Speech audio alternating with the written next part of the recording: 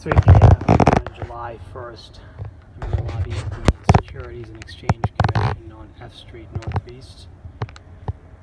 It is very empty. Not too many people around.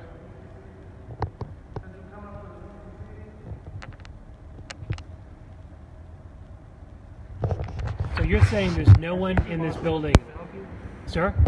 There's no one in this building, right? Not one, no one at all in this I building. told It's- him that. The SEC is completely empty right now. Sir? Because of COVID, it's empty. It's empty. Completely right empty. It's empty. Okay. It's only I IT. told Most whole- most people are IT people that work here. That's working here right Okay. When when will. And people from the uh, badging office. That's why when you came in here, I asked you if you were coming here for fingerprinting and Oh yeah, ID. yeah. No, I got it. I got it. And when are they going to come? When will people start to arrive be here? September the bill is supposed to open, right? Uh, they said September? by September, By yeah. September. Okay. All right. Can I call someone in the enforcement division if I had a If you complaint? know somebody, if yes, you you know can. somebody, you But. I don't know We you. only have extensions, and nobody's here to answer that call. But they're at home. I could call them at home, right?